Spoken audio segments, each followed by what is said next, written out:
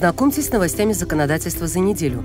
Закон Республики Узбекистан о ратификации договора о структуре и принципах функционирования Тюрксоя Алматы 12 июля 1993 года. В соответствии с законом о ратификации договора о структуре и принципах функционирования Тюрксоя Алматы 12 июля 1993 года ратифицирован договор о структуре и принципах функционирования Тюрксоя. К сведению, международная организация Тюрксоя была создана в 1993 году в результате соглашений между Азербайджаном, Казахстаном, Кыргызстаном, Казахстаном, Узбекистаном, Туркменистаном и Турецкой Республикой. Основной задачей структуры является духовное сближение и укрепление братского единства тюркских народов, приобщение тюркской культуры к миру и сохранение ее традиций для будущего поколения.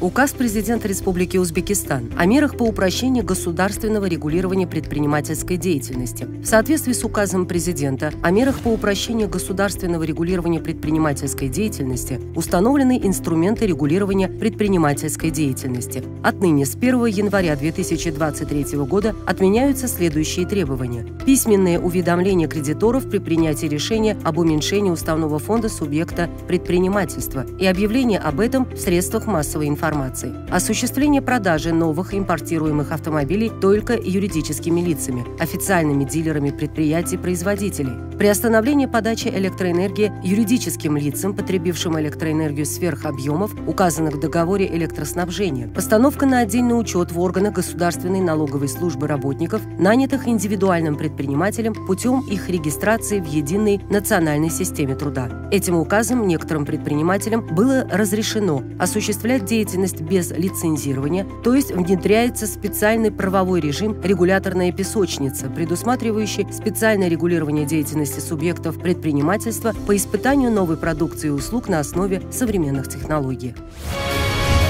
Постановление президента Республики Узбекистан о мерах по оптимизации процедур представления отчетов и хранения архивных документов. Постановлением президента о мерах по оптимизации процедур представления отчетов и хранения архивных документов для юридических лиц отменяется требование представления в налоговые и статистические органы финансовых отчетов. Настоящим актом с 1 января 2023 года отменены следующие виды статистической отчетности. Отчет о биржевой деятельности, отчет о состоянии состоянии условий труда, отчет о распределении численности работников по сумме начисленной заработной платы, отчет об услугах железнодорожного транспорта общего пользования, отчет о деятельности коммерческого банка, отчет о деятельности страховой организации, отчет об имеющихся строительных машинах и механизмах в малых строительных организациях и микрофирмах, отчет о деятельности трубопроводного транспорта, отчет о закупке плодоовощной продукции.